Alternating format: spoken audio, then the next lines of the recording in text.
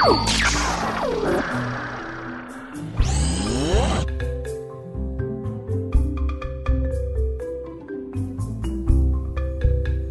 I'm Don Higdon. I'm a senior instructional designer with the University of Maryland, Baltimore County. NASA needs engineers.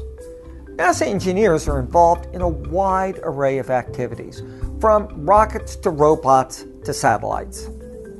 Now, the key to getting more engineers is to engage students when they're young. So, we've designed a series of fun STEM activities that will engage them. And more importantly, help them see engineering as a disciplined process. Remember, STEM is science, technology, engineering, and mathematics. Our activities will integrate all of these. Now, we've adopted from the Boston Museum of Science their engineering design plan as our model. The model is simple and intuitive. It involves six steps.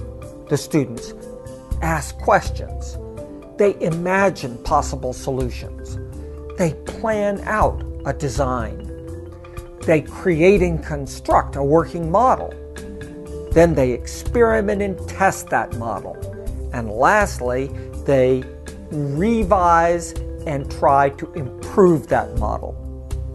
Now, perhaps the best way to understand this is to actually do it. So we've chosen an example to show this. Sending a rocket to the moon carrying a satellite. But before we walk through the process, let's look at one possible model and the materials the students have to work with.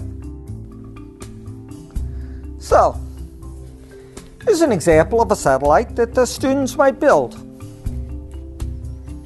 Here's a straw that attaches to the satellite and guides it. Here's a rocket that makes the whole system go.